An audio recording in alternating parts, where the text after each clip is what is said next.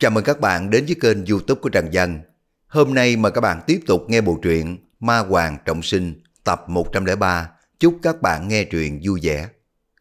Chương 480 Đế tướng ân quán Trong phòng giam tối tăm, không khí ẩm ướt, sáng sớm đã hình thành nước rồi, đang không ngừng rơi xuống theo tiết tấu dần luật.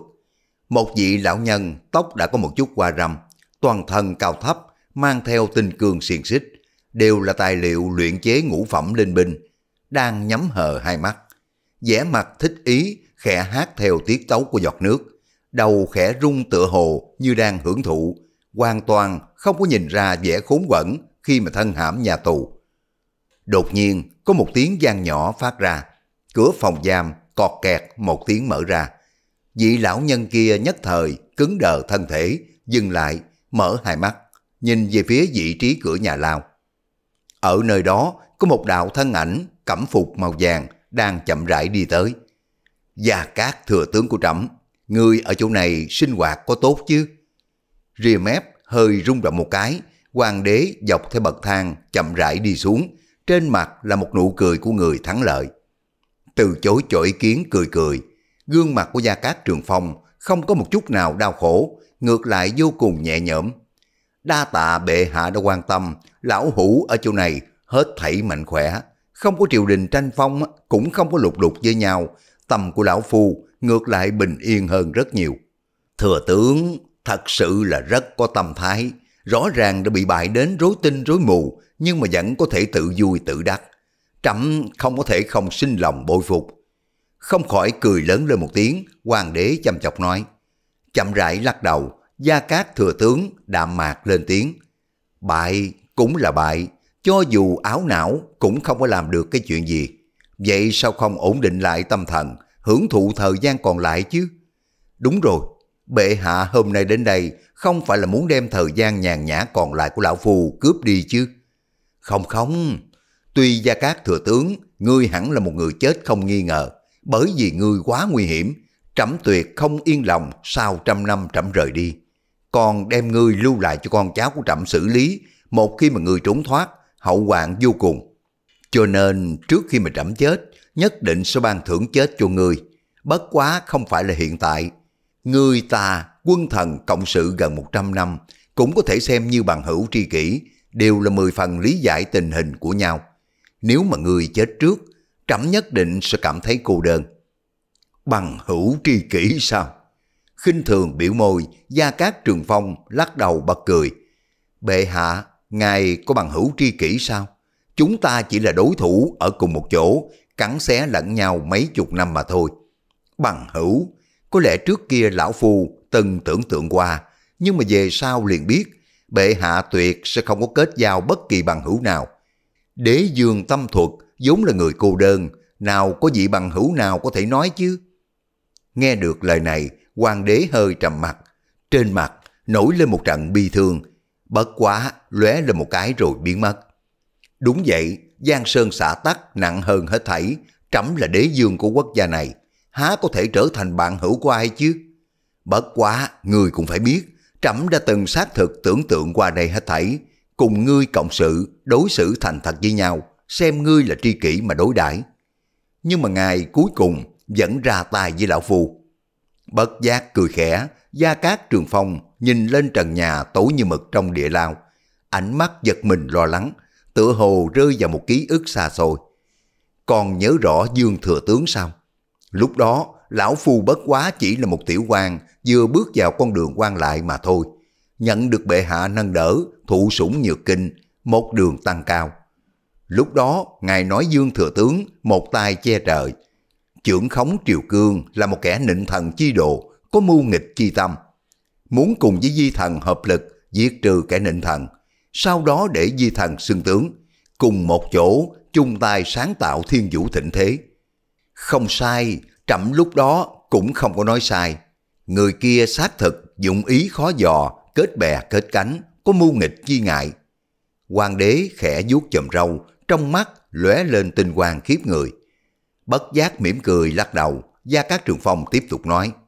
Lúc đó ta cũng cảm thấy như vậy, liền cùng với bệ hạ hợp lực sưu tập chứng cứ, đem hắn cầm xuống. Thế nhưng khi mà ta hăng hái đi dương phủ bắt hắn, hắn lại nói với ta, phải cẩn thận với bệ hạ, đồng thời tự tử tại chỗ. Lúc đó ta không có rõ ý của hắn, còn tưởng rằng đó là châm ngòi ly gián của nghịch thần, liền không có để ý. Nhưng là sau khi thần ngây ngốc, nắm giữ vị trí thừa tướng 10 năm, cẩn trọng giữ khuôn phép, chuyện cũ vẫn lại phát sinh. Bệ hạ mới tìm quan lại trẻ tuổi hơn, lấy nhiệt quyết chi tâm, đền đáp triều đình chi ý, dụ hoặc bọn họ xuống tay với ta. Lúc đó ta không hiểu được vì sao mà bệ hạ đối xử với ta như thế. Về sau ta âm thầm ẩn nhẫn, mặc cho các người khiêu khích như thế nào, đều là bất di sở động.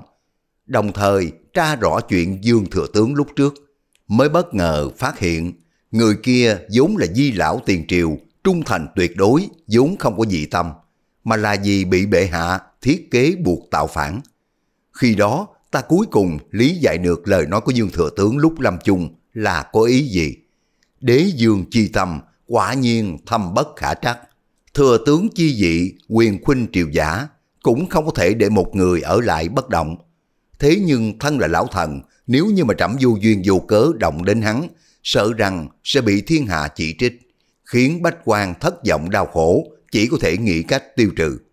Trên mặt tràn đầy vẻ lạnh lẽo, hoàng đế bình tĩnh nói, bất quá là gia cát thừa tướng, thông minh hơn hắn rất nhiều. Qua nhiều năm như vậy, trẫm vẫn luôn không có nắm được một chút điểm yếu của người, mà ngay cả an bài sau lưng của người, chuẩn bị người thế chỗ cho người, cũng đều đã bị ngươi dùng các loại thủ đoạn trừ bỏ. Lúc đó ta mới liền xác định dân quyền cơ tiên đoán quả nhiên không giả. Vị trí đầu não của tứ trụ ngoại trừ ngươi ra thì có thể là ai khác. Về sau ngươi cũng xác thực có được thế lực to lớn chẩn nhiếp bảy nhà khiến cho trẫm đạt được cục diện bên trong bên ngoài thăng bằng. Nghe được lời này, Gia Cát Trường Phong cười khổ lắc đầu, trong lòng có cổ tư vị khó nói ra. Nguyên lai hết thảy vẫn luôn nằm trong sự khống chế của bệ hạ. Tuy nói lão phu phát giác được một số, nhưng mà lại nghịch rằng chỉ sắp xếp thỏa đáng có thể thoát khỏi hết thảy, không có nghĩ tới. Chà, bệ hạ, người người nói lão phu là đệ nhất trí tinh trong thiên vũ, nhưng mà trong lòng của lão phu, bệ hạ mới thật sự là đệ nhất trí giả. Cùng bệ hạ đấu tâm thuật, lão phu không có theo kịp rồi. Nào có, thừa tướng chớ có khiêm tốn, trẫm chỉ là một hôn quân mà thôi, giống như người lần này đem đại quân quyển nhung dẫn vào thiên vũ. Trẫm thân là đế dương, sao lại không có một chút phát giác nào?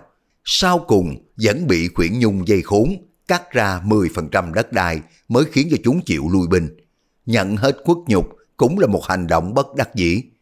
Trẫm đã thẹn với thiên vũ ba tính, thẹn với liệt tổ liệt tông rồi. Hoàng đế thở dài lên một tiếng, nhưng mà khóe miệng xẹt qua một tia cười nhạt.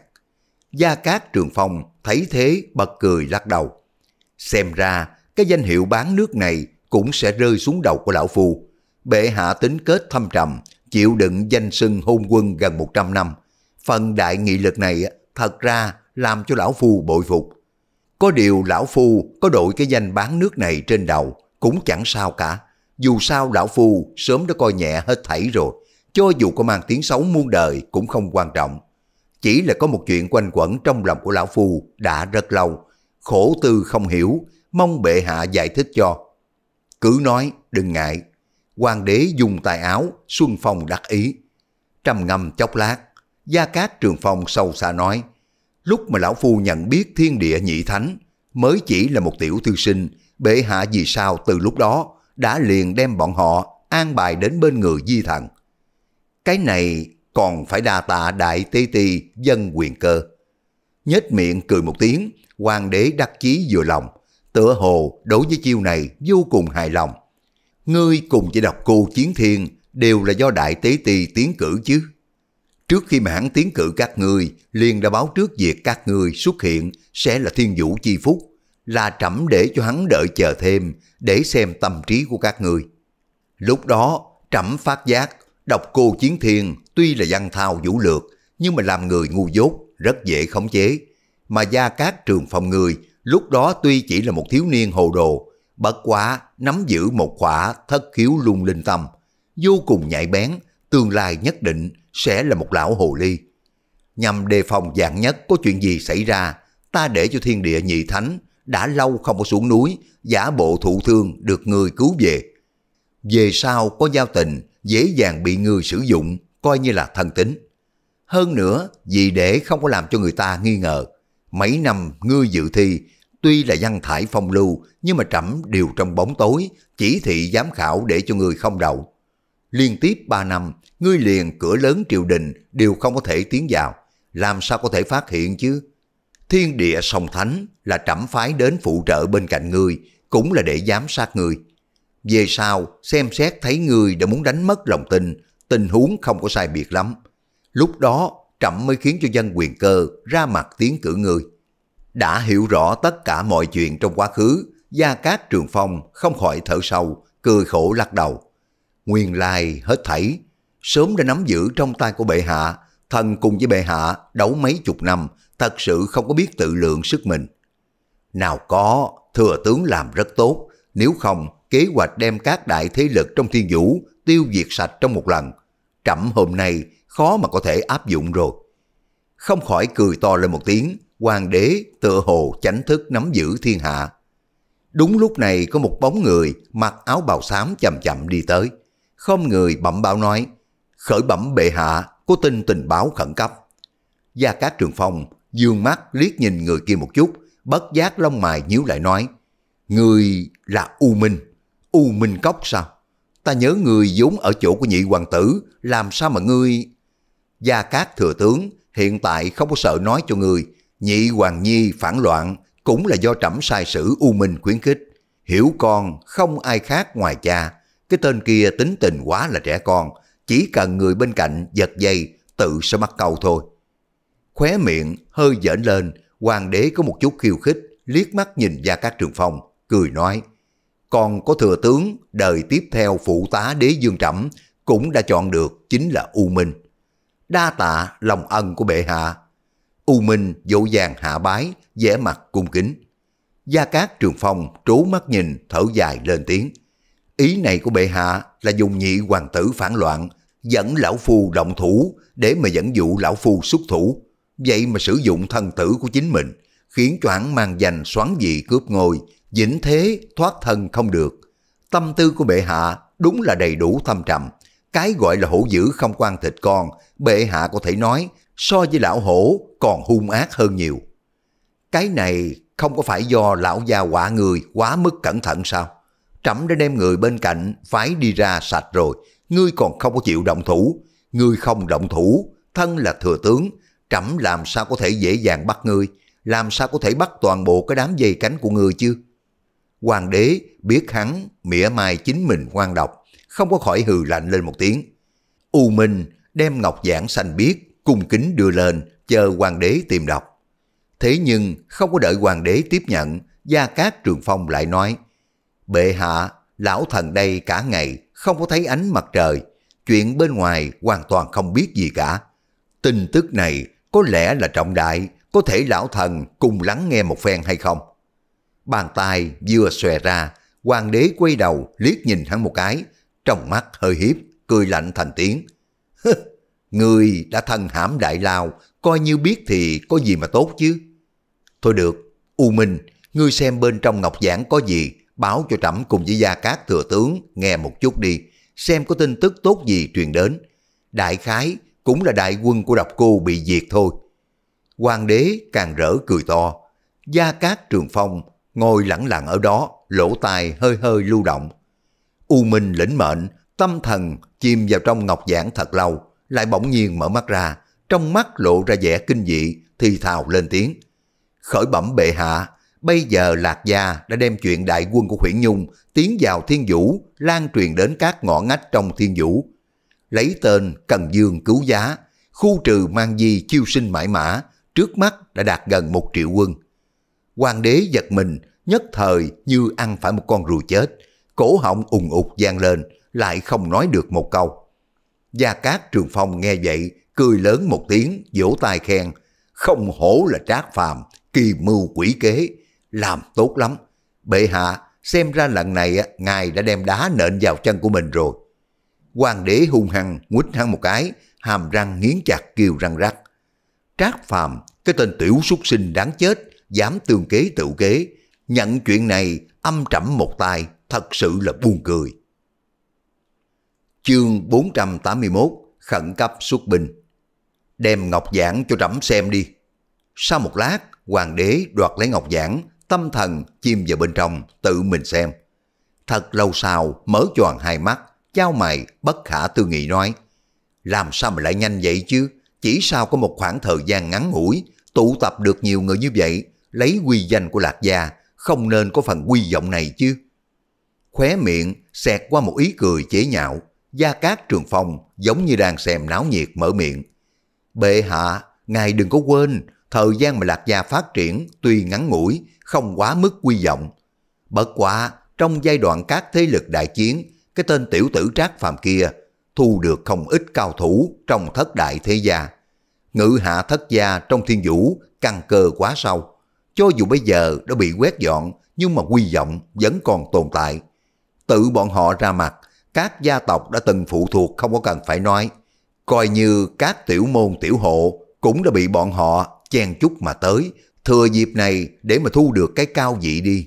Dù sao, sau cái trận chiến này, bọn họ thế nhưng có khả năng ôm vào bắp đùi của ngự hạ gia tộc. Cứ như vậy, hiện tại mới chiêu mộ được một triệu quân chứ. Lão thần cho rằng còn có một chút thiếu đây. Nghe tiếng cười giễu cợt của Gia Cát Trường Phong, sắc mặt hoàng đế âm trầm, giống như người muốn ăn thịt, hung tợn nói.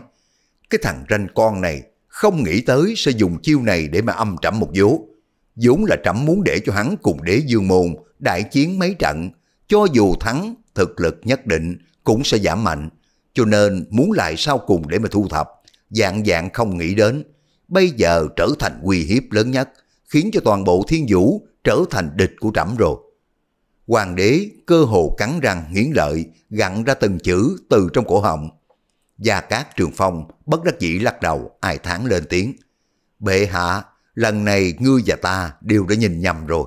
Chúng ta đều muốn sử dụng trác phàm để mà quấy đục thiên vũ, làm ngư ông đắc lợi. Lão Phu nghĩ đến thời cơ phản loạn, bệ hạ muốn quét dọn các tế lực trong thiên hạ. Nhưng mà kết quả lại là Lão Phu bị bệ hạ tính kế. Kéo theo chuyện bệ hạ thiết kế quét dọn các thế lực, lại đều đã bị tên tiểu tử kia toàn bộ tiếp nhận rồi.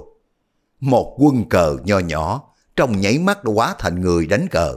Ngư ông đắc lợi. Bệ hạ, ngài lần này thua cũng không phải là một hai con cờ, mà chính là thua toàn bộ đại cục rồi. Im ngay! Hoàng đế rốt cuộc khó có thể tiếp nhận trấn định, thống mạ lên tiếng, hai con mắt đỏ thẫm giống như điên cuồng, giận dữ hét. Trẫm là thiên tử, trẫm sẽ không thua, vĩnh viễn không thua. Bất giác, hung hăng ho khan vài tiếng, hoàng đế lấy khăn tài lao qua miệng, sắc máu đỏ thẫm ở phía trên vô cùng dễ thấy.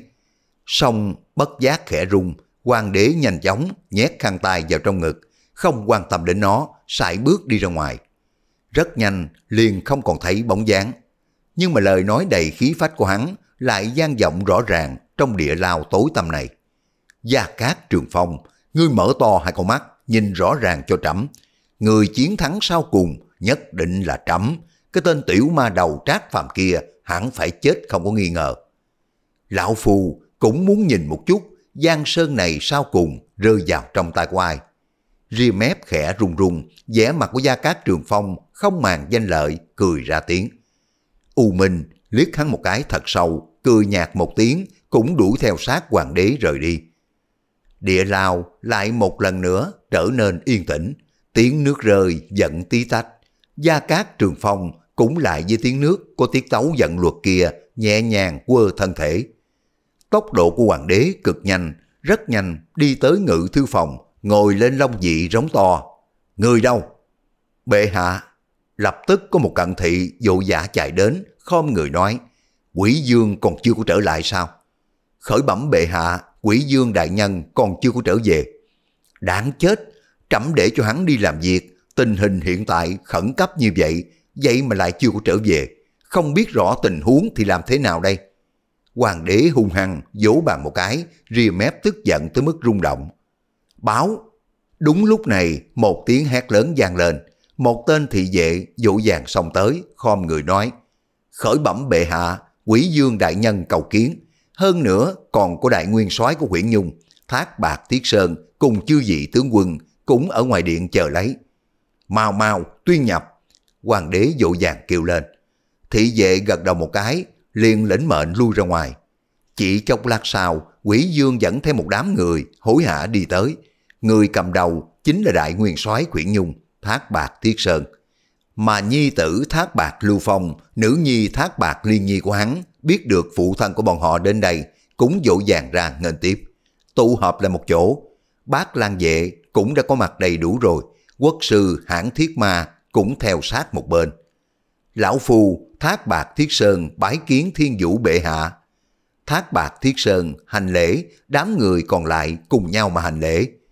Hoàng đế dùng tay lên cười nói, Thác Bạc Lão Nguyên soái lễ độ, sớm đã nghe nói đại danh của Lão Nguyên soái hôm nay nhìn thấy quả là danh bất hư truyền, khí vũ hiền ngang, phong độ đại tướng. Hoàng đế khách sáo hai câu liền đi thẳng vào vấn đề.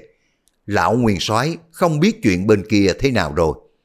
Lời vừa nói ra, tất cả mọi người dùng ánh mắt hy vọng nhìn về phía thác bạc Thiết Sơn, bao gồm cả con của hắn, thác bạc Lưu Phong cùng với thác bạc Liên Nhi cũng giống vậy. Bọn họ đều biết lần này là trận chiến cuối cùng của thác bạc Thiết Sơn cùng với độc cô Chiến Thiên. Đến tột cùng, ai thắng, ai thua, tình hình chiến đấu như thế nào, bọn họ cũng muốn biết được.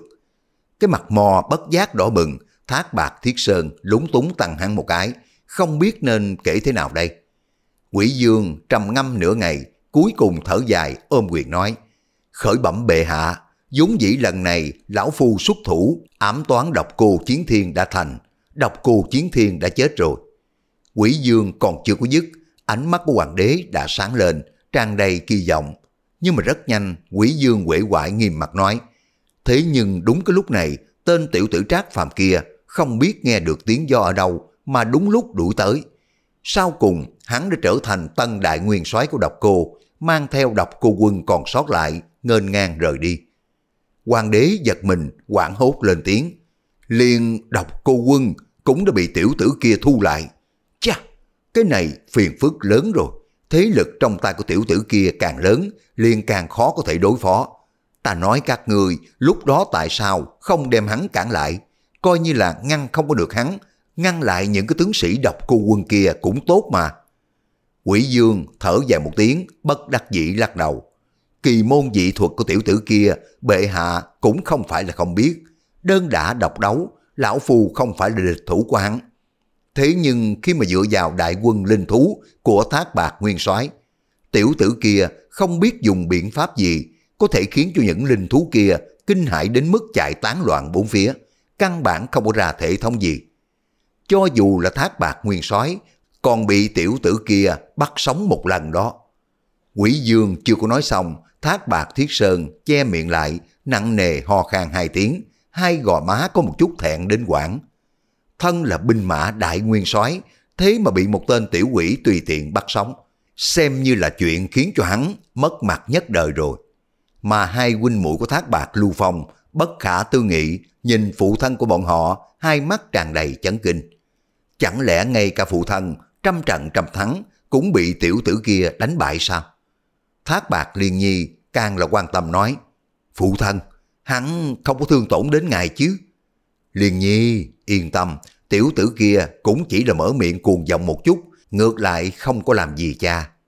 Cười nhẹ khoát khoát tay, thác bạc thiết sơn trấn ngang nói, đến tận đây, Liên Nhi mới yên lòng. Thế nhưng, tra lạp hãng trợn trừng con mắt một cái, hướng về sát pha lan trong ngũ lan vệ tức giận mắng to. Mấy người các ngươi bảo hộ nguyên soái kiểu gì thế? Vậy mà có thể để cho người ta thừa cơ bắt cóc nguyên soái sao? Đây quả thật là làm nhục bác lan vệ của chúng ta. Ngũ lan vệ thầm giận trong lòng hư lên một tiếng. Sát pha làng liếc nhìn tra lập hạng một chút lạnh lùng nói. Tiểu tử kia thủ đoạn quỷ dị, thực lực rất mạnh. Lúc đó tình cảnh hỗn loạn. Đừng nói là chúng ta coi như tăng thêm người cũng không có cải biến được gì. Bất quá, người luôn luôn tự ngạo, khi mà còn chưa có giao thủ cùng tiểu tử kia, đoán chừng sẽ không tin. Ai nói ta chưa từng giao thủ cùng với hắn, ta cùng với ba người triết biệt liên thủ cũng không có đánh lại tiểu tử kia. Triết biệt còn bởi vậy mà trọng thương, nằm trên giường một tháng, không cách nào mà cử động. Tra lạp hãng không cẩn thận nói lộ ra miệng, triết biệt dỗ dàng lúng túng ho nhẹ một tiếng. Đến tận đây, bác lan vệ mới ngươi nhìn ta, ta nhìn ngươi. Tất cả đều bừng tỉnh đại ngộ. Nguyên lai tất cả mọi người đều đang qua thua thiệt ngầm dưới tay của tiểu tử kia. Trong lúc nhất thời, tất cả mọi người không khỏi cúi thấp đầu than thở. Chuyến đi thiên vũ lần này thật sự là bác lan vệ, bọn họ đã thua sạch bóng cả đời sỉ nhục. Thấy tình cảnh này, thác bạc thiết sơn không khỏi nhíu mày càng sâu, nhìn về phía hoàng đế nói, Bệ hạ, trác phàm kia đến tột cùng là thần thánh phương nào, sao mà lại có thần thông như thế chứ? Trước kia làm sao mà chưa từng nghe nói qua? Phụ thân, ta tới thiên vũ đã mấy tháng có thừa, đã điều tra kỹ càng về người này, điểm ấy vẫn để ta giải thích đi. Lần này thác bạc lưu phong, nhìn về phía phụ thân của hắn thản nhiên nói, Trác Phàm sinh tại một tiểu thế gia bất nhập lưu, từ nhỏ đã làm nô, về sau gia tộc này bị diệt. Hắn nhân duyên trở thành quản gia gia tộc. Khi đó, toàn bộ gia tộc bao gồm hai cái vị chủ tử cùng một người thị vệ bên ngoài. Tổng cộng chỉ có bốn người thôi. Nhưng mà chính từ dưới tình huống như vậy, hắn lại kết giao với các nhà quyền quý, dùng giản dạng không có đến 10 năm, đem một gia tộc hạng bét trở thành một chư hầu của một phương. Bệ hạ đã từng ban thưởng hắn danh xưng thiên hạ đệ nhất đại quản gia. Có thể thấy được hắn có năng lực phi phạm, tài năng kinh thiên động địa. Hơn nữa, ngự hạ chi đạo của hắn mười phần cao minh. Thường có thể đem tuyệt thế cao thủ kéo vào dưới trứng của mình, để bản thân có thể sử dụng. Minh hữu đối với năng lực của hắn càng là mười phần tín nhiệm, quỷ thác trách nhiệm. Bất quá, dù vậy người chung quanh đối với hắn cũng đã kính lại sợ. Bất luận minh hữu hay là địch nhân đều có chung một đánh giá về hắn. Giảo hoạt như cáo, tàn bạo như sói, âm hiểm như rắn, khí thế như rồng. Cho nên chớ có nhìn bề ngoài của hắn có vẻ hung hăng càng quấy, nhưng mà lại vô cùng thận trọng, quỷ kế đa đoan, quả thực là một nhân vật khó có thể đối phó. Không sai, trong bất trì bất giác, tiểu tử này đã thành uy hiếp lớn nhất của trẫm rồi. Hít một hơi thật sâu, hoàng đế cũng đã thâm biểu tán đồng gật đầu. Thác bạc thiết sơn thầm hiểu trong lòng âm thầm gật đầu. Tuy lão phu biết rõ tiểu tử này không có đơn giản, nhưng mà không ngờ khó giải quyết như thế. Xem ra lão phù đối phó với hắn, so với đối phó với lão gia quả độc cô chiến thiên kia, thì phải cẩn thận, chặt chẽ hơn mới được. Đã như vậy, xin mời thác bạc lão nguyên soái mau chóng là phát binh phong lâm thành, bắt giữ cái tên gian tặc này.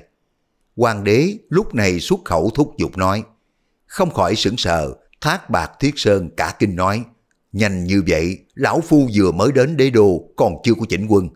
Không có cách nào rồi, tiểu tử kia rất là âm hiểm, hiện tại hắn đã lấy danh sưng Cần Dương, bốn phía chiêu binh mãi mã, trẫm cũng không có tiện nói gì.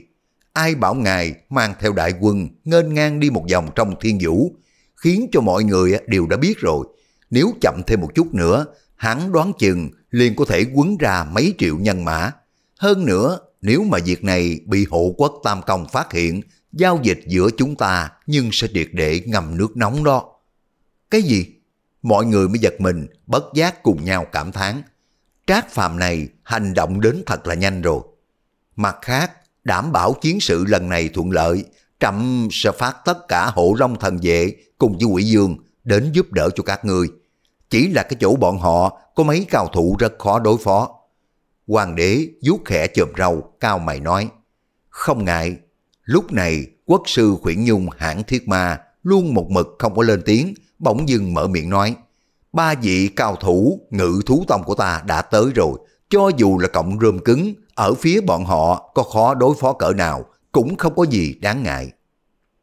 Chương 482 Đại quân áp đến Sáng sớm, một mảnh đại quân đông nghìn nghịch đạp lên sương mai sáng sớm, chậm rãi tới gần biên giới của một tòa tiểu thành vắng vẻ. Cổ sát khí ngập trời, hòa lẫn cùng với máu và kim loại, tạo nên một cổ cảm giác ngưng trọng. Nhất thời khiến cho bầu không khí rừng núi chung quanh cũng trở nên trầm muộn.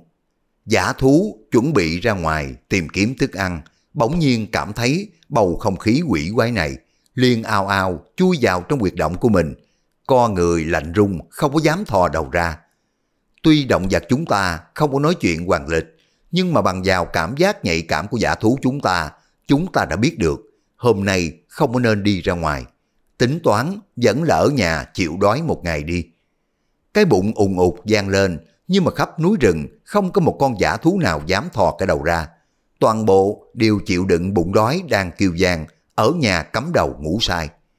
Thác bạc lưu phong nhìn cái tòa thành trì ở phía xa xa một chút, rồi quay đầu hướng thác bạc thiết sơn bên cạnh nói, Phụ soái chỗ đó chính là phong lâm thành lạc gia, chúng ta hao phí ròng rã hai tháng thời gian, sau đó là tụ họp cùng đại quân của thác bạc mới nhập cảnh. ba triệu quân sĩ đi cả ngày lẫn đêm, cuối cùng đã đến rồi. Thác bạc thiết sơn hướng đến chỗ đó nhìn, hơi trầm ngâm, đạm mạc lên tiếng. Diện binh do thiên vũ bệ hạ phái tới giúp bọn ta phá trận đầu, để cho bọn họ lên xem xét một phen đi. Dân, thác bạc lưu phong, cúi đầu xuống, khom người lãnh mệnh, liền hướng về phía sau truyền lệnh. Rất nhanh, liền có 10 đạo thân ảnh lặng không bay lên, hướng về phương hướng của phong lâm thành bay đi. Bọn họ đều là cao thủ thiên quyền, trận sư cấp 6, trong khu vực thiên vũ này. Trận thức bọn họ phá không được, có thể nói đếm được trên đầu ngón tay. Chỉ chốc lát sau, bọn họ lại bay trở về bẩm báo nói, khởi bẩm nguyên soái chung quanh khu vực này phủ đầy hơn 500 trận thức to to nhỏ nhỏ, trận thức cấp 3 trở lên có 200 cái. Bên trong không có thiếu trận thức cao cấp, cấp 5 cùng với cấp 6. Muốn bài trừ tất cả là khó khăn. Ta đã biết rồi, đây là quỷ kế của Trác Phàm kia, muốn bức lão phù cùng hắn ở đây quyết đấu một trận tử chiến. Không khỏi thở dài một tiếng, Thác Bạc Thiết Sơn bất đắc dĩ lắc đầu. Thác Bạc Lưu Phong thấy thế sững sờ mấy giây, nhưng mà rất nhanh liền nghĩ thông suốt hết thảy, sắc mặt trở nên ngưng trọng hơn. Trác Phàm này quả thật là xảo trá, trên chiến trường coi trọng nhất là thiên thời địa lợi nhân hòa. Hắn bốn phía đã chiêu binh mãi mã, luyện binh ngược lại chưa có hẳn, chính yếu nhất chính là muốn bức phụ thân ngài, tự mình mang binh đến chỗ này, chiến đấu, càng là bức ngài tóc chiến tóc thắng. Hắn thì ngược lại, chỉ tòa trấn nội thành, chiếm hết ưu thế địa lợi, ngồi đợi khai chiến thôi. Còn không chỉ cái này, chậm rãi lắc đầu, thác bạc thiết sơn thở dài. Quân sĩ của đối phương rất ít, chúng ta vốn dĩ chiếm đại ưu thế. Thế nhưng bản sự chấn nhiếp linh thú của Trác Phàm khiến cho chúng ta không thể không đánh rơi đại quân linh thú. Chuyện này đã làm yếu bớt một lực lượng lớn thực lực của chúng ta. Hiện tại hắn lại lưng tựa trận pháp phụ trợ.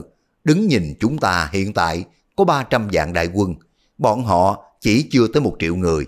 Một khi mà chân chính chiến đấu là tỷ lệ 5 năm, khó phần thắng bại. Trác Phàm quả nhiên đem ưu thế của mình mở rộng đến vô hạn. Ưu thế của chúng ta thu nhỏ đến vô hạn. Thậm chí có thể nói là từ khi vừa mới bắt đầu, hắn liền đã nắm giữ chiến cuộc này. Chúng ta bất quá đã bị hắn nắm mũi dẫn đi mà thôi. Trong lòng bất giác rung lên, thác bạc lưu phong nhìn chăm chăm vào cái tòa thành trì gần trong gan tấc kia, phản phất như đang nhìn một tòa thành, tường đồng vách sắt, trong mắt tràn đầy vẻ mặt ngưng trọng. Trác phạm này quả thật là đáng sợ. Phụ thân, vậy tiếp theo chúng ta phải làm sao bây giờ? Trước hết, để cho phá trận sư đi lên xem phản ứng của bọn họ đi. Trong mắt lóe lên tinh quang, thác bạc thiết sơn nhìn về phía 10 người kia nói, các người tiến đến phá trận nhất định là phải cấp tốc. Mười người đều là khóe miệng trệ xuống, liếc nhìn nhau, mặt mũi tràn đầy ngượng nghịu. Lúc này một người bên trong đứng ra bái hạ nói, Nguyên soái tuy chúng ta là trận sư cấp 6, thế nhưng to nhỏ hơn 500 trận thức, ở bên trong không có thiếu trận pháp, có thủ pháp bố trí tinh diệu, rất khó phá giải. Nếu chúng ta muốn phá hết, cũng không có biết đến năm nào tháng nào. Cái này phải xem bản sự của các ngươi, quân lệnh như sơn, đi. Sắc mặt của thác bạc thiết sơn nghiêm túc, lời nói kiên định. Mười người nhìn xem lẫn nhau, trên mặt lộ ra. Trên mặt đều thuần một vẻ khổ bức. Bà mẹ nó, cái tên mang binh ngoài nghề này, không có hiểu còn mù chỉ huy. Nhiều trận pháp như vậy, bọn họ coi như phá đến chết đều không hết. Nói chi, đến chuyện trên đường bọn họ phá trận, còn có người lao ra, đem bọn họ mà làm thịt chứ. Mười người quán thầm trong lòng không thôi, nhưng mà không có cách nào, đưa đầu một đao, rút đầu cũng là một đao, chỉ có thể tiếp tục kiên trì. Từng đạo, từng đạo lưu quang xẹt qua, mười vị phá trận sư đi đến trước phong lâm thành, trong tay đánh quyết, bắt đầu phá giải cái trận pháp trước thành, nhưng mà trong lòng cầu nguyện, người bên trong tuyệt đối đừng có giết ra lúc này, bọn họ thế nhưng tài không tất sắc. Bất quá, người đến phá trận pháp nhà của người ta, người bố trận có thể không biết sao. Một đạo ba động vô hình truyền qua, Trác Phàm đang ở trong phòng nghị sự, đang cùng với các trưởng sự các nhà thương nghị chuyện chiêu binh mãi mã gần đây. Đột nhiên sững sờ, bất giác cười khẽ một tiếng. Trác quản gia, xảy ra chuyện gì sao? Mổ mổ nhìn về phía Trác Phàm hoài nghi nói. Chậm rãi lắc đầu, Trác Phàm từ chối cho ý kiến. Nhưng mà rất nhanh, liền có một vị đệ tử lạc gia dỗ dàng chạy vào, khom người bẩm báo. Khởi bẩm Trác quản gia, ngoài thành đang có 10 lão đầu, bóp ấn niệm quyết, không biết đang mân mê cái thứ gì, giống như đang phá trận phá của chúng ta vậy. Bọn họ xác thực đang phá trận. Tốt, người lui xuống đi, không có việc gì, hết thảy vẫn như cũ. Trác Phàm khoát khoát tay thản nhiên nói, người ngoài khẽ không người liền lui ra, các vị gia chủ còn lại thì khẩn trương. Long giật phi nhịn không được thốt lên. Có người đến phá trận, chẳng lẽ nói đại quân của Thác Bạc Thiết Sơn đã hãm thành. Không có nhanh như thế chứ, chúng ta cái gì cũng chưa có chuẩn bị xong đâu. Có lẽ thật sự nhanh như vậy sao? Không khỏi cười một tiếng, Trác Phàm không có dội chút nào, đề nghị. Nếu không, chúng ta đến đầu tường, nhìn xem 10 cái lão già kia phá trận đến đâu rồi. Thế nào? Bất giác, sững sờ một cái, tất cả mọi người không có rõ ràng cho lắm. Làm sao mà người ta hiện tại đều đã giết đến tận cửa, tiểu tử này vẫn như cũ, bình tĩnh như thế chứ. Có điều rất nhanh, mọi người liền thoải mái. Dù sao tiểu tử này luôn luôn thích tỏ ra trang bức, hắn đã không dội, liền nói lên hắn đã có chuẩn bị rồi. Đã vậy, bọn họ cần gì phải sốt ruột.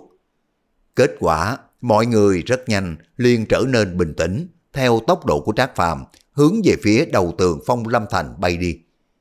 Qua một lát, mấy người đã tới đầu tường, liền thấy 10 cái lão già đang không ngừng kết động, ẩn quyết trước cửa thành. Mặt mò nín đến đỏ bừng, trong miệng còn hùng hùng hổ hổ. Còn bà nó, cái trận pháp này do người nào mà bố trí, một cái trận thức cấp 2 cần phải làm phức tạp vậy sao? Còn có cái loại thủ pháp kết trận này là của tông môn nào? Làm sao cho tới bây giờ chưa từng thấy qua? Đúng, đối phương nhất định của đại sư bố trận, nếu không phải vậy không có khả năng thiết lập ra một trận pháp tinh vi như thế. Vô luận loại nào pháp quyết đều không có giải được. Bớt lại nhảy, dùng tâm phá trận đi. Mười lão già, một bên phá trận, một bên phát ra bực tức, làm cho cả nửa ngày, một cái trận thức cũng không có mở ra, không khỏi gấp đến dậm chân. Bọn họ đường đường là trận sư cấp 6, liền cái trận thức cấp 2 không có giải được, chuyện này chấp nhận được sao? Bọn người của Long Giật Phi ở trong hư không nhìn hết thảy thì thầm gật đầu, ánh mắt nhìn về phía Trác Phàm tràn đầy thán phục. Trác quản gia không hổ là cao thủ toàn năng, lần này bố trí trận pháp, gấp chết mấy cái lão già kia rồi. Long giật phi cười lớn một tiếng, liên tục khen. Hai người còn lại hung hăng tán thưởng, khẽ gật đầu. Trác Phàm từ chối cho ý kiến, khoát tay một cái nói, ta tuy là tinh thông trận đạo, nhưng mà còn không có bản lĩnh, đem trận thức cấp 2 bố trí đến mức có quy lực tương đương cùng với trận thức cấp 6 như thế. Bọn họ không giải được, chỉ có thể nói là dùng không có đúng phương pháp thôi. Nói xong, Trác Phàm hướng về phía dưới hồ.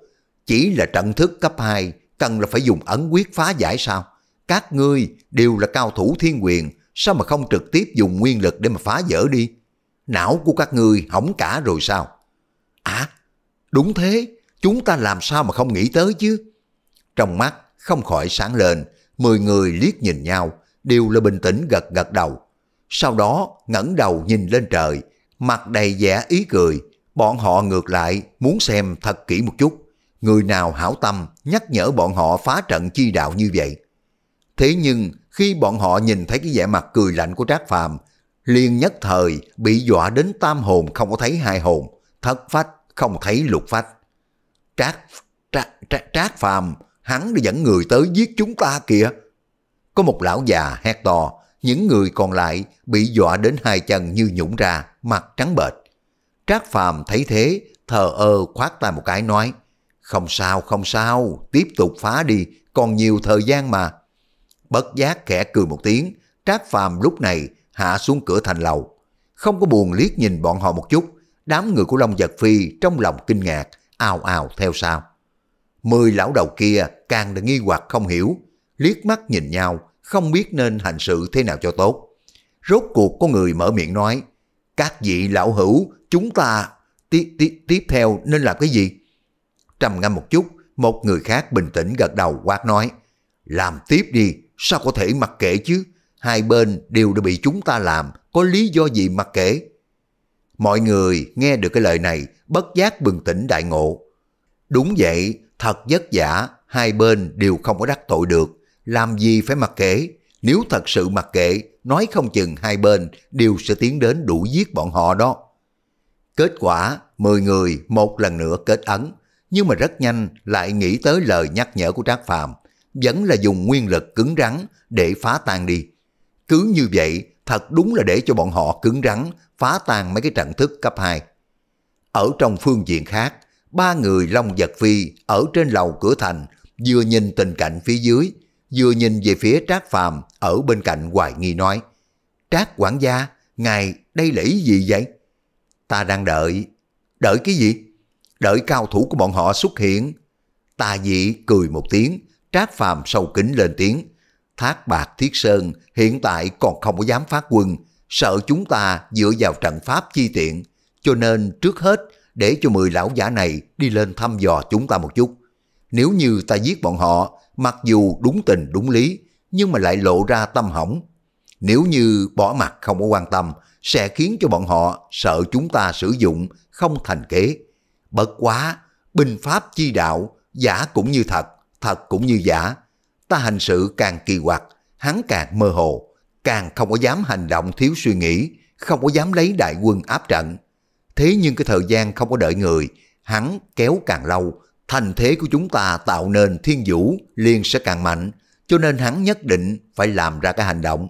Biện pháp ổn thỏa nhất chính là lấy cao thủ đột tiến, tốc chiến tốc thắng. Ba người Long Giật Phi thầm hiểu, nguyên lai trước khi đại quân quyết chiến, Trác quản gia trước tiên tiến hành cao thủ quyết đấu. Ta ngược lại muốn nhìn xem, dưới tình huống hoàng đế biết rõ tiểu tam tử ở phía ta, đến tột cùng mời thần thánh phương nào trợ trận đây. Hai mắt lóe lên tinh quang, trong mắt của Trác Phàm tràn đầy ánh sáng thâm thúy. Chương 483 Hổ Lan Xà Phụ soái người thấy Trác Phàm kia đến tột cùng đang dở cái trò quỷ quái gì. Có người phá trận thức trước thành của hắn, vậy mà hắn còn đứng ở cửa thành nhìn lên. Còn vừa nói vừa cười, rõ ràng không có đem chúng ta để vào trong mắt. Thác bạc lưu phong chỉ tay về phía Trác Phàm đang ở trên lầu cửa thành, cùng với ba vị gia chủ nói chuyện vui vẻ, trên mặt lộ ra cái vẻ cổ quái, tựa hồ rất khó hiểu. Thác bạc thiết sơn trầm ngâm một chút, lông mày nhíu chặt. Trong mắt lộ ra một vẻ nghi hoặc. Hắn đây là đối với việc dựa trận đối địch, thật sự có nắm chắc, hay là cố lộng quyền hư, trì quản thời gian đây? Người này hành động quái dị, khắp nơi lộ ra kỳ quặc, quả thật không có thể ước đoán. Lưu Phong theo cha đi gặp ba vị trưởng lão. Đột nhiên, hai con mắt của Thác Bạc Thiết Sơn ngưng tụ, bình tĩnh lên tiếng. Thác Bạc Lưu Phong khẽ giật mình hét lớn. Nhanh như vậy, ba vị trưởng lão không phải là đòn sát thủ của chúng ta sao? Nhanh như vậy, liền muốn tế ra, không phải là quá sớm sao? Binh quý thần tốc, không có thể quản nhiều. Thác Bạc Thiết Sơn dùng tay áo, trực tiếp đi thẳng về phía trước. Thác Bạc Lưu Phong thấy thế dội vàng đuổi theo. Chỉ chốc lát sau, hai người đi tới trước một đỉnh xoáy trướng. Ở bên trong truyền ra một tiếng cười khẽ, có một chút bị ổi lên tiếng. Liên nhi, căn cốt của người rất tốt, tuổi còn nhỏ, ngự thú chi thuật vô cùng cao. Không bằng bổn tọa thu ngươi làm đệ tử, mang người hồi tông điều giáo thật tốt hai năm, ngày sau thành tựu tất sẽ không kém bổn tọa. Xa trưởng lão hảo ý, liên nhi tâm lĩnh, Chỉ là nhà có song thân ở trên, Liên Nhi thật sự không có đành lòng rời đi. Lúc này truyền ra thanh năm có một chút khó xử của Liên Nhi. Nhưng mà nàng chưa có nói xong, âm thanh bên trong kia một lần nữa vang lên. Việc quan hệ đến tiền đồ của Tiểu Liên Nhi, Thác Bạc Nguyên soái tuyệt không có phản đối. Thác Bạc Thiết Sơn đang bên ngoài trướng, tức giận, rìa mép loạn rung. Hai con mắt như là muốn phun lửa. Lão bất tử này rõ ràng là mượn cơ hội đùa giỡn quê nữ nhà của hắn. Thác Bạc Lưu Phong cũng là một mặt âm trầm, song quyền nhịn không được, hung hăng siết chặt. Nhưng mà rất nhanh, hai người liền đem nộ khí đè xuống, một lần nữa thu thập tâm tình, mở cửa ra đi vào. Nguyên soái thiếu chủ. Ở bên trong, bác Lan Vệ sớm đã đợi, sắc mặt tái nhợt, giận mà không có dám nói gì. Nhìn thấy hai người tới đây mới dội vàng khom người bái nói. Mà ở bên trong, bài biện ba cái ghế lớn, bên trên có ba người đang ngồi đó, tất cả đều hở ngực lộ vú, rất là phóng khoáng. Ngồi ở giữa là một đại hán, đầu đầy tóc đen mịn, mặt to mày rậm, mắt như chuông đồng. Ở chính giữa ngực, xăm lên một cái kim tình bàn lan hổ, rất hung mãnh. Hai cha con của Thác Bạc Thiết Sơn khom người cúi đầu nói, hổ trưởng lão. Tiếp lấy bên tay phải là một vị lão giả râu trắng, ánh mắt hơi khép, mặt mũi hiền lành, nhưng mà trong hai con người thỉnh thoảng bắn ra ánh sáng xanh, khiến cho người ta gặp phải liên tục run sợ mất mật. Trên ngực hắn cũng xăm một hình động vật, chính là một đầu sói đang nhe răng múa vuốt. Làng trưởng lão, hai người thác bạc thiết sơn lại không người cúi đầu. Sau cùng, hai người đem ánh mắt rơi lên thân người cuối cùng trong ba đại cao thủ. Người kia một mặt gian tướng, khóe môi nhếch lên hai cái ri mép, hai con mắt thỉnh thoảng chớp động hiện ra ánh sáng dâm tục. Giờ khắc này, bàn tay của hắn đang nắm lấy tay ngọc của thác bạc liên nhi không thả. Thỉnh thoảng vuốt ve phía trên hai lần, lộ ra một khuôn mặt rất là hưởng thụ. Ngực của người này cũng xăm một cái hình động vật, chính là một đầu độc xà, hai mắt phóng ra hung quang. Hai người thác bạc thiết sơn nhìn thấy cảnh này, trong lòng một trận bực bội, song quyền không có nhịn được mà nắm chặt lại, nhưng mà vẫn cắn răng hướng về phương hướng của người kia bái nói, xà trưởng lão. Thác bạc nguyên soái ngài đến rồi sao? Xa trưởng lão mặt ngoài lộ ý cười nhìn về phía thác bạc thiết sơn, nhưng mà bàn tay không có ý muốn buông ra. Thậm chí liền nhi cố gắng rút tay ngọc ra cũng không có thể rút được. Dưới ban ngày băng mặt, đùa giỡn đường đường nữ nhi của đại nguyên soái ta, đây rõ ràng đang đánh vào mặt mò của thác bạc thiết sơn. Bất quá, ba người này tựa hồ không có để hắn vào trong mắt, làm ra hết thảy cũng không có cố kỵ đến hắn. Một bên quốc sư hãng thiết ma thấy song quyền của thác bạc thiết sơn khẽ rung lên, tựa hồ sắp ức chế không nổi cảm xúc, không khỏi dỗ dàng mở miệng nói, Thiết Sơn Huynh, ngươi tới gặp ba vị trưởng lão, có phải là muốn mời ba vị trưởng lão xuất thủ hay không? Dân, vâng. thân thể khẽ rung, thác bạc Thiết Sơn cắn răng xuất khẩu, hung hăng ôm quyền nói, ba vị trưởng lão mời các người đi trước mở đường, phá vỡ trận thức kết giới ngoài thành, trợ giúp cho đại quân của ta đánh vào bên trong phong lâm thành. Liếc nhìn nhau, ba người cùng khinh thường cười lạnh. Xa trưởng lão càng là bình chân như vậy, tiếp tục xoa xoa tay nhỏ của nữ nhi nhà người ta, chăm chậm nói, Thác bạc nguyên soái không phải là ta nói người, ba người chúng ta dù sao cũng là cao thủ quá hư, không phải là quân tiên phong của các ngươi. Chuyện đi trước mở đường, phá trận pháp của địch, nên là các ngươi phải làm chứ. Chúng ta chỉ là ứng phó cao thủ, có thể đột nhiên xuất hiện bên trong, chỉ thế thôi. Hai vị trưởng lão khác cũng liên tục gật đầu, khỏe môi nhếch lên cái đường cong kinh thường. Cố làm ra vẻ, tiến đến phá trận không phải là chức trách của các ngươi, chẳng lẽ đùa giỡn thanh xuân thiếu nữ nhà của người ta thì là chức trách của các ngươi sao? Thác bạc thiết sơn thầm hận trong lòng nhưng mà cũng không dám phát tác, chỉ có thể cố nén. Thấy tình cảnh này, bác lan vệ ào ào trợn mắt nhìn. Sát khí toàn thân ngăn không được tiết ra ngoài, mắt thấy sắp ra tay đánh nhau. Thế nhưng ba vị trưởng lão vẫn trấn định tự nhiên như cũ, vẻ mặt như thiếu ăn đòn, hoàn toàn không có đem mọi người để vào trong mắt. Chỉ là mấy cao thủ thần chiếu, coi như lại đến thêm 10 cái, trăm cái, cũng không phải là địch thủ của đường đường, quả hư cao thủ bọn họ rồi. Hãng thiết ma thấy thế nhíu mày, trong lòng trầm ngâm một chút, rồi mới mở miệng nói, ba vị trưởng lão, việc này quan hệ đến chuyện thiên vũ, hứa hẹn cho chúng ta 10% khu vực. Nơi đó thế nhưng là linh hoạt đông đảo, dính dấp đến lợi ích của ngự thú tông. Nếu bởi vì trận thức trước thành không có thể phá, thác bạc nguyên soái đánh lâu không xong, chậm trễ thời gian, sau cùng rơi vào cục diện gà bay trứng dở. Ba vị trở lại trong tông, chỉ sợ không có tiện bàn giao rồi. quật sư, lời này của ngươi đang uy hiếp chúng ta sao? Ánh mắt khẽ hiếp lại một cái, hổ trưởng lão hừ lạnh một tiếng nói. Hãng thiết ma thấy thế, dỗ dàng khoát khoát tài cúi đầu bãi nói. Không dám, không dám, lão hủ nghĩ cho tiền đồ của ba vị trưởng lão thôi.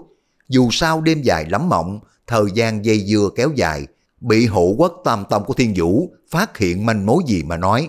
Đến lúc đó, ba vị trưởng lão tới đây vốn dĩ có thể nhẹ nhàng lập công, kết quả chỉ có thể tay không trở về. Cái này, chà, lão phu thật sự không có đành lòng. Trong lòng bất giác rung lên một cái, ba người liếc nhìn nhau, sắc mặt đồng thời động dung. Cuối cùng, hổ trưởng lão gật gật đầu, nhìn về phía hãng thiết ma nói, quật sư, ngươi rất là thông minh, nói rất hợp lý. Việc này không có nên kéo dài, vẫn là tóc chiến tóc thắng, cho thỏa đáng. Dâm xà, xài lan, chúng ta đi. Chờ đến khi mà đem 10% khu vực của thiên vũ vào trong tay, chúng ta vẫn còn thời gian vui đùa mà. Nói xong, hổ trưởng lão đứng dậy đi ra ngoài. Lan trưởng lão thấy vậy cũng vội vàng đuổi theo. xa trưởng lão dạng phần không muốn, sau khi sờ tay của Ngọc Liên Nhi một chút, cũng lại ai tháng một tiếng theo sau. Chỉ là trước khi đi, hắn vẫn cực kỳ dâm đảng, liếc nhìn Liên Nhi một chút, lỗ mạng nói, Liên Nhi, ngươi đệ tử này của ta đã định rồi đó. Sau đó, ba người ra khỏi xoáy trướng, rất nhanh đã không thấy bóng người. Thác bạc thiết sơn tức giận, toàn thân run rẩy, mặt mũi tái nhợt. Tra lập hãng càng la chửi ầm lên. Đây chính là trưởng lão ngự thú tông sao? Cái thứ gì vậy chứ? Hai mắt của Liên Nhi đỏ lên, khẽ khóc nức nở. Thác bạc lưu phong thầm than một tiếng, đem muội muội ôm vào lòng trấn ngang. Hãng thiết ma bất đắc dĩ thở dài, đi đến trước mặt của thác bạc thiết sơn, vỗ vỗ đầu dài của hắn. Thiết sơn huynh, đi thôi, công thành, đoạt đất, còn phải để cho ngươi tự mình đôn đốc. Còn có bác Lan Vệ cũng cùng một chỗ đi theo đi. Công thành đoạt đất, hứ, đường đường là nữ nhi của đại nguyên soái quyển nhung ta, thế mà ngay trước mặt của ta bị đùa giỡn. Lão Phu lại có thể bất lực, còn mặt mũi nào mà đi công thành đoạt đất. Thác bạc Thiết Sơn nổi giận lên tiếng, vẻ mặt đỏ thẫm. Hãng Thiết Ma lý giải tâm tình của hắn, nhưng mà cũng một trận bất lực thở dài. Lúc trước, chúng ta hướng ngự thú tông tìm kiếm viện trợ. Ai ngờ bọn họ phái ra ba cái đồ chơi như thế tới. Hổ hung mảnh, lan tàn bạo, xà dâm tà. Ba người mảnh hổ xài lan dâm xà. Có thể nói mình hữu khó ở chung nhất. Nhất là dâm xà kia, lão phù nghe nói hắn sử dụng âm chi thuật luyện công. Thiếu nữ đã bị quỷ dưới thân của hắn, đếm không hết đó.